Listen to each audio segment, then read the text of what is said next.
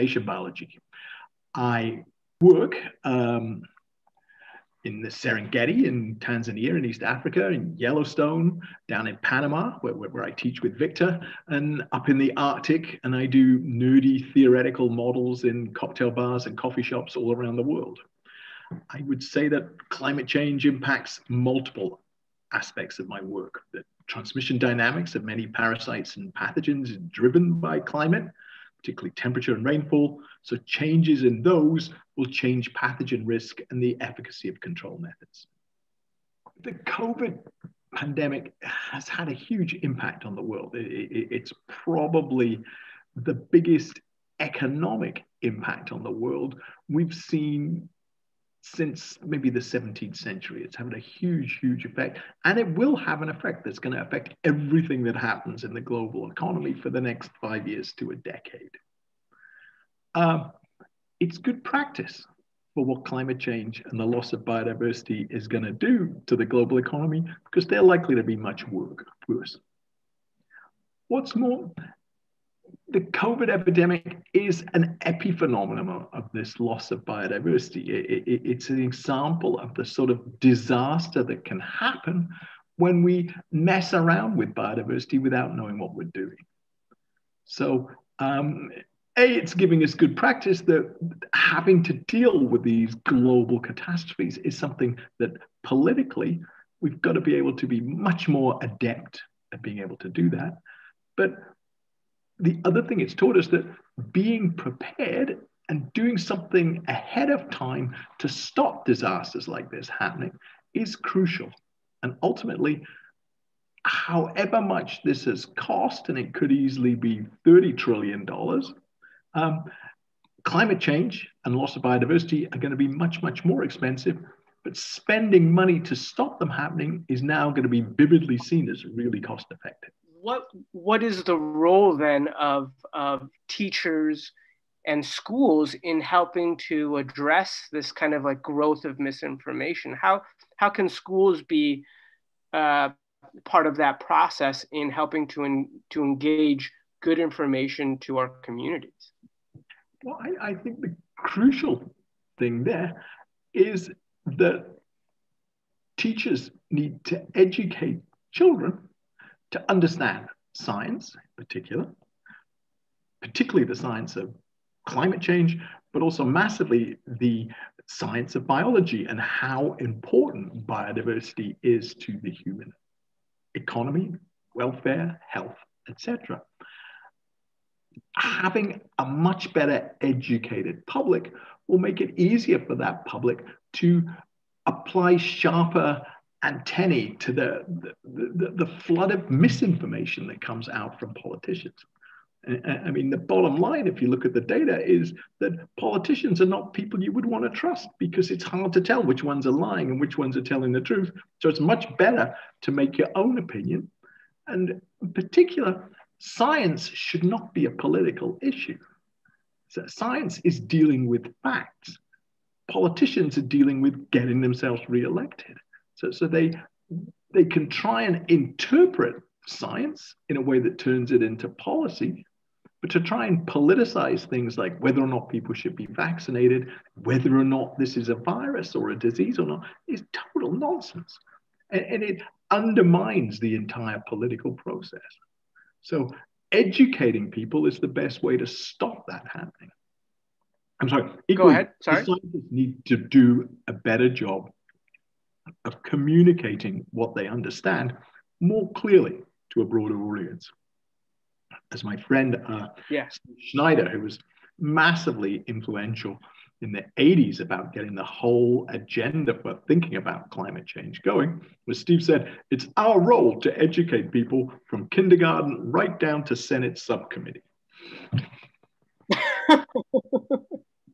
He's That's right. Awesome. You have to get your message across at all those levels and it's it's it's it's a point worth noting that there's very few scientists in Congress, right? That that it's there, also there were four, uh, uh, of which half are scientists in that they are funeral directors, which unless we do something about climate, that is going to be the biggest job growth area.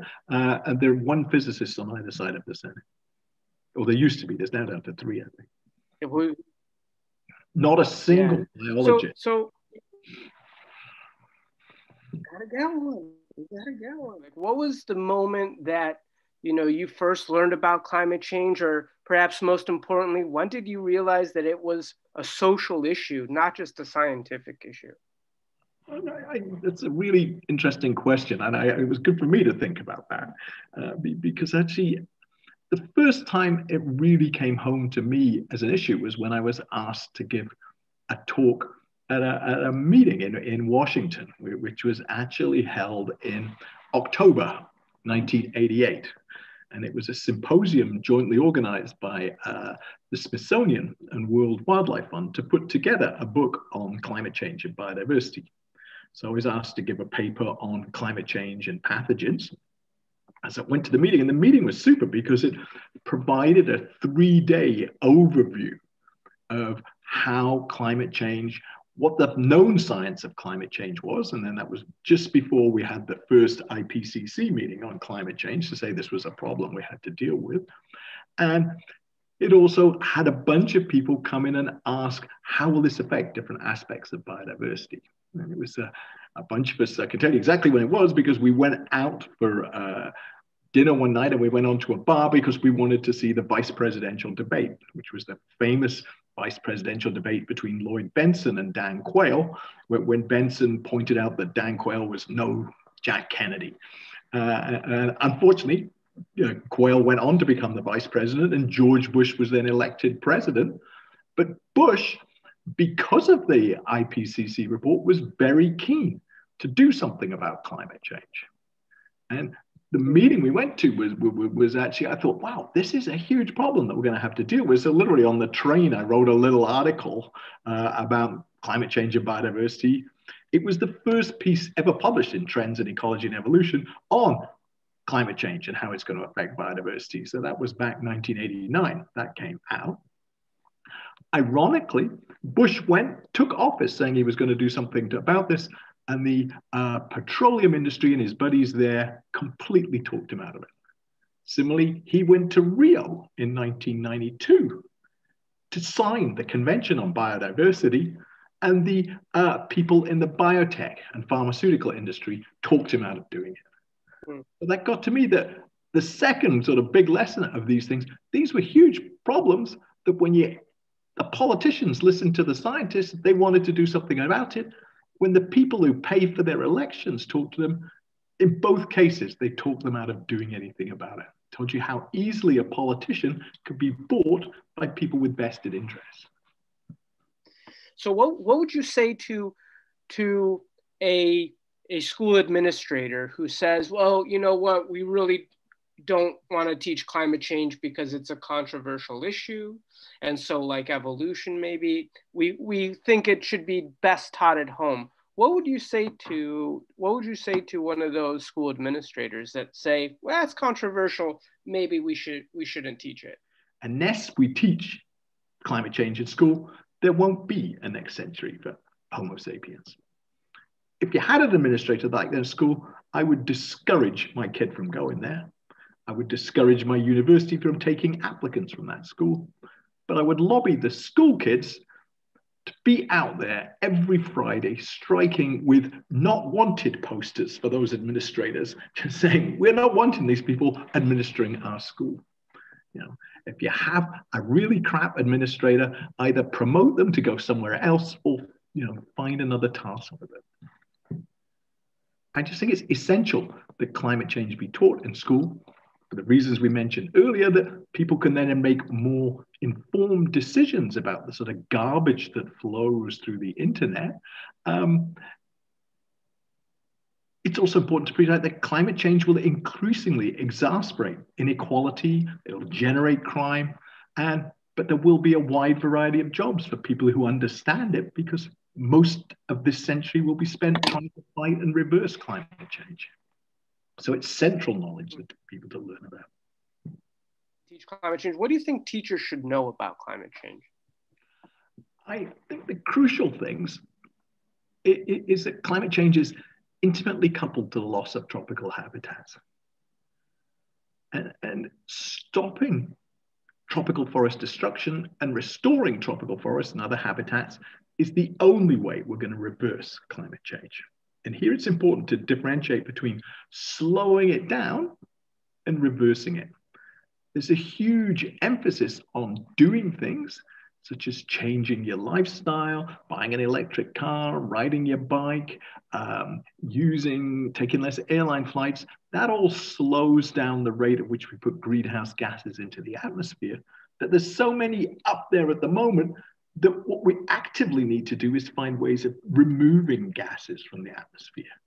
And the only way we've got that will work in the time available is tropical forests any of the machines that people are trying to make will not be scaled up to be operating at a global scale in anything like the short period of time we have available. So it's restoration and teaching that is vital. And, and this deep irony that I am more worried about loss of biodiversity than I am about climate change because I suspect that the impacts of loss of biodiversity will be felt earlier than the, the change in climate. But it's doubly important because the loss of particularly tropical forests removes from us our main weapon to be able to fight climate change and reverse it. So being able to teach that and get that message across, I think is vital. And how about for students? For young students, you know, I've I it was uh, told to me by a good friend of mine who's a teacher that says, well, you know what, like teachers need to be careful when they talk to to students, particularly the younger ones, about about you know ecological collapse, about climate change, because it's depression. It's depressing. It's deeply depressing, and in a way, she said, you know what? Like first, I, I like to first instill a love for nature in children because it, it starts with that love for the environment. It starts with that love and that personal relationship, that connection that kids have with nature. She said, because if you if you teach them about climate change and about biodiversity loss without having them establish that love, she says it's kind of like couples counseling on your first date. Yeah. Right. Um, so so what what would you tell students, um, young people about the importance about of, of learning and and uh, about climate change and, and and biodiversity. What message do you have to those young people? Well, again, I, I, I think having more biology and natural history, local natural history taught in schools, I think is vital. Uh, it, it's really important to learn about the world that surrounds you, and it's it's much more exciting the things you see on Twitter or, or, or, Instagram once you get into it. And if it really is exciting, you can stick it on Instagram and get other people excited about it. Actively getting involved is vital. Going and working and helping restoring local naturally habitats will get you to meet fun, like minded people and get you to learn more natural history. Um, I also think, you know, as you get more involved with it, follow Greta Thunberg's example strike every Friday, get out on the streets and protest, learn about the environment and educate your elders about it and refuse to back down when they suggest larger or alternative issues are more important. And simply, you know, encourage your parents to divest their savings from fossil fuels and big pharma.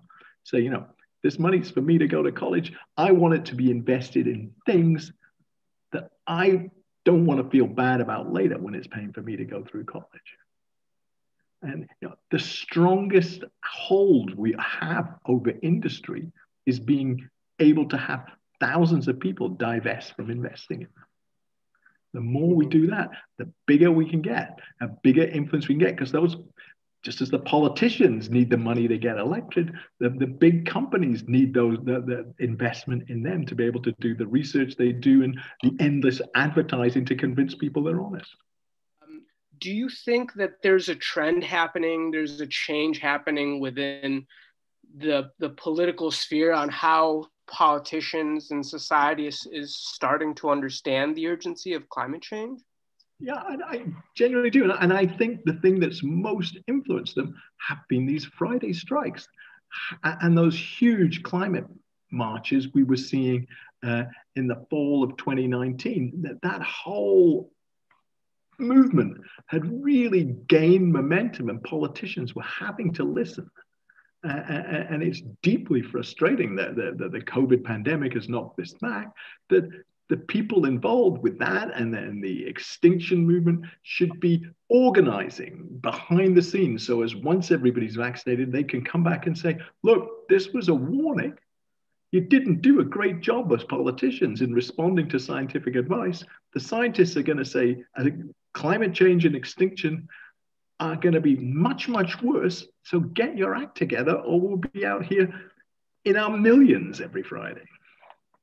Do you feel that the COVID pandemic has taught us certain lessons that we could more broadly apply to, to resiliency and climate change? I think the key lesson that will emerge is you've got to have a unified approach. Um, you know, if the scientists say we've all got to massively change our behavior to deal with this pandemic, in many cases, you know, 99% of people did that, and it really did help slow down the uh, rate of expansion of the pandemic in the countries that followed those rules. When people disobeyed them, they're now seeing the cost, as you, as you massively see in the US and you see in the UK. The, the other thing is it was a great way of unifying people together to, to, to, sort of say, no, if we've all done this together, we should get a good feeling of, of having beaten it as a team. And, and that's going to be important for both loss of biodiversity and, and, and climate change. It's also listen to the scientists. They're not talking nonsense. They're not doing this uh, to expand th their own egos. There's enough of them saying this and, and saying it with increasingly strident voices that it's important we do something about it. And if you look at the evidence and get unbiased people to look at the evidence they're presenting, it's urgent. What is your ultimate message for young people that that want to find their place in in this movement? Um, what would be your advice to them? I think the, the most important thing is a you've got to see this as the biggest battle of your generation and the previous generations who failed to take it on adequately, and the next couple of generations are all who are going to have to fight this battle. Um, that means you both have to get engaged politically, getting out on the streets, but also educate yourself about it. And through that education, find a way to work to stop it. Uh, they're all the fun, exciting jobs are going to be things like you and I do, working as biologists, going out into the field, doing restoration, working on tropical diseases, uh, working on biodiversity, working on climate. Those are really exciting career opportunities. And being able to work in them in, in the fantastic places we work, or even locally, just around where you're living, will get you to meet other exciting, like-minded people, and they will fully fulfill all the excitement you would ever want in your sort of social life.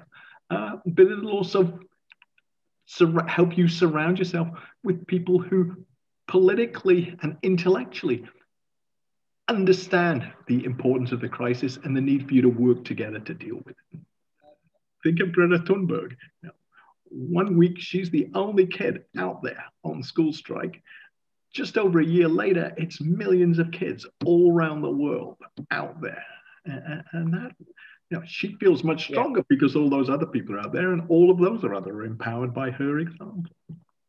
It's the best thing that's happened, Greta, is on the environment and on biodiversity in my lifetime. It's the voice of youth and the fact that she is not in any position to be corruptible and too many of the other people are either thinking of their own egos as they got older or are in a, a, a political system that's by definition almost corrupt. Or maybe she has the vision to see that, you know, she's on the precipice with everything around her is plummeting down. And, and very few other people are actually seeing that. Uh, but then they realize that, hold it, she has no motivation to say anything other than what she's actually seeing, and other people believe that, that to be true, whereas other people you think these people have got a mixed agenda.